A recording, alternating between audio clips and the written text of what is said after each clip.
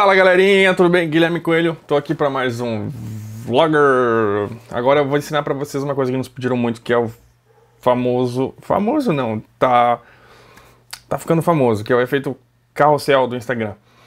Eu não gosto muito desse nome, e por a gente ter misturado tanto foto quanto vídeo nele, eu decidi não chamar ele mais de carrossel, mas para vocês acharem ele, ele tinha que ser carrossel né, aqui no YouTube.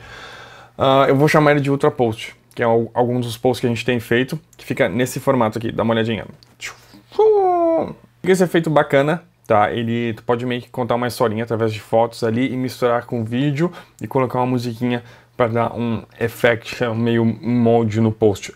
É muito simples fazer isso, muito, muito, muito simples e eu vou ensinar para vocês. Primeira coisa que vocês vão precisar é desse, dessa guia que eu coloquei aqui, tá aqui essa coisinha, e essa guia aqui ela está aqui embaixo para download. Tá? É um arquivo PSD que está com essas reguinhas aqui. Vocês vão ter que usar ele para fazer um post. O que, que simboliza uh, cada risquinho desses uh, vertical?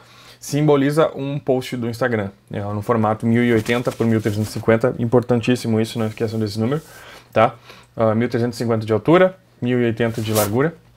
E essas regras horizontais aqui eu botei mais para se guiar mesmo. Eu deixei ela propositalmente um pouquinho mais para baixo, porque é o formato que eu costumo utilizar, ok? Deixa eu mostrar para vocês. Abrindo uh, essa layer aqui no Photoshop, como eu já falei, tá para download aqui embaixo essa guia, vocês vão ter que inserir as fotos aqui, tá? Por exemplo, eu peguei aqui umas fotos dessa trip, eu vou só arrastar aqui, por exemplo, ok? E vou começar a montar o meu, o meu Ultra Post aqui, ok? Coloquei uma fotinho aqui, Ctrl mais para dar zoom, Hum, essas aqui também legais também. Não vou montar todo aqui para vocês. E eu vou montando ele aqui. Por ser um, cada post desse, cada frame desse aqui forem uh, por ser 1080 por 1350, como essa aqui é uma foto em alta, eu consigo uh, esticar ela bem. E aí vai entrar o layout de vocês. Aqui, ó, é sempre bom uh, ter a reguinha para vocês verem esses detalhes aqui, ok? E aí vai entrar o layout de vocês ok? Eu não vou exatamente aqui falar sobre uh, layout, mas acho que eu tenho uma horizontal aqui, legal, aqui. Uh, eu vou dar dicas aqui para vocês como montarem isso. Tá? Uma das coisas mais importantes que vocês podem trabalhar nisso é chamar de uma layer para outra, porque no momento que a pessoa abriu esse post aqui, ela só vai ver até esse risquinho da direita aqui. Então vocês podem sutilmente colocar uh, uma fotinho aqui para chamar a pessoa para ela entender que ela tem que ir para o lado aqui. Como é que vocês vão fazer isso? Vocês vão colocar assim. Então, quando a pessoa, ou assim de repente, aqui no caso ficou chamando a atenção a ela ali na foto. Cara, isso não, eu posso, não, não quer dizer muito, mas eu posso aqui.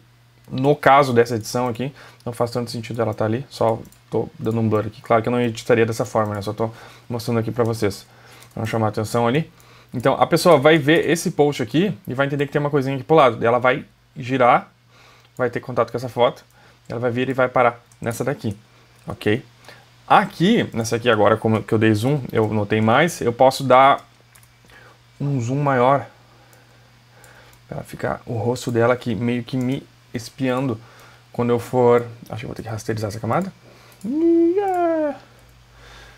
Pra ela ficar me espiando quando eu passar pro próximo post. Deixa eu tentar simular aqui pra vocês. Tô aqui, vi o post, passei pro lado na transição e aqui eu vou parar nesse aqui.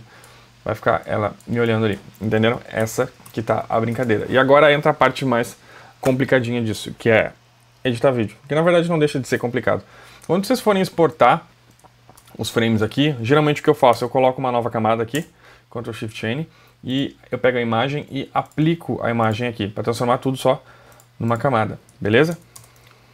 Depois disso, eu vou selecionar cada uma dessas camadas, ok? Como eles já estão no tamanho certinho, vai estar 1080 por 1350, ok?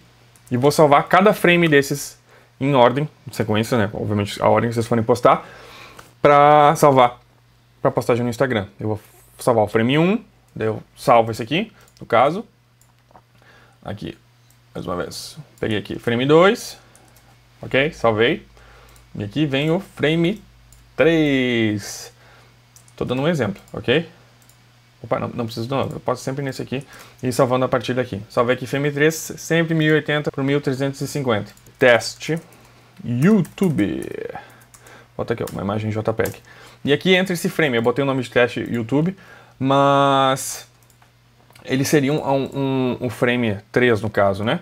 Deixa eu botar aqui. Post Hawaii. Teste YouTube. O que, que eu vou fazer? Eu vou lá no Premiere. Atenção agora.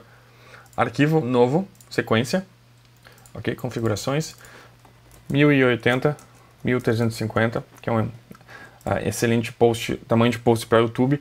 Aqui não é tão importante assim o número, vocês já devem ter visto tutoriais falando outros números aqui. Aqui o importante mais é a proporção, ser o 4 por 5 perfeito.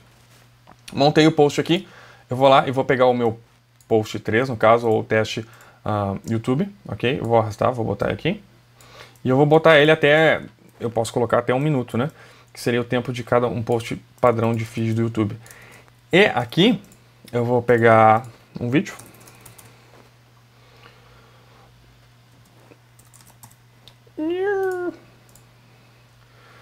Hum, aqui e vou inserir aqui na timeline o vídeo.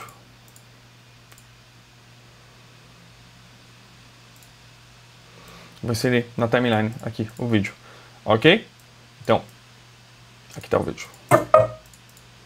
Eu vou... Deixa eu tocar aqui para minha janela de edição. Aí, beleza. Estou mais acostumado com esse. Aqui eu vou alterar a escala e fazer a proporção que eu quiser, entendeu? Ou eu posso, de repente, deixar uh, em 100 o vídeo uh, e cortar as bordas dele. Eu posso fazer isso tanto por máscaras quanto por uh, porcentagem aqui no efeito cortar. Deixa eu botar aqui. 22... 22. Esse porcentagem é, é, bem bom, caso tu queira fazer meio que rapidinho aqui. Aqui como ele não está centralizado, né? Aqui, como para não pegar o rosto dela, eu tiraria mais um pouco aqui. De repente faria assim. Vamos dar play. E agora vem a parte no celularzinho, ok? O que, que vocês vão fazer agora? Vocês vão uh, no caso, abrir uh, o Instagram no post de vocês e vão fazer o seguinte. Aqui, vocês vão selecionar as imagens, tá? No post de vocês e vocês vão colocar uh, ela. Deixa eu ver se não tem nada aqui no feed que me comprometa. Vocês vão colocar ela na ordem dos arquivos, ok? É imprescindível vocês lembrarem, é imprescindível vocês lembrarem a ordem que foi colocada ali. Vocês podem testar isso no feed. Aqui, por exemplo, está a minha ordem, ok? Primeira coisa, deixar o vídeo vertical, que ele foi feito em vertical, 4x5. Beleza, deu certinho. Uh, lembrando vocês, como esse post ele é maior, e tem dois vídeos, por exemplo, dentro dele, esse primeiro vídeo aqui, esse aqui, uh, ele vai ser bem pesado para postar. Tá? O export ali do, do YouTube vocês podem colocar em 8 bit bitrate, 10 bit bitrate. O Instagram vai detonar o vídeo igual, então não tem muita importância. Uh, mas vai ficar um pouquinho pesadinho para postar às vezes pelo 3G se não estiver muito bom, então esteja no Wi-Fi para postar. E quem quiser checar o nosso Instagram lá, o Rabbit Films, tá esse post lá, se você tá vendo esse vídeo hoje, no dia do lançamento. E espero que vocês tenham gostado. Até o próximo vlogzinho. Valeu, pessoal. Falou!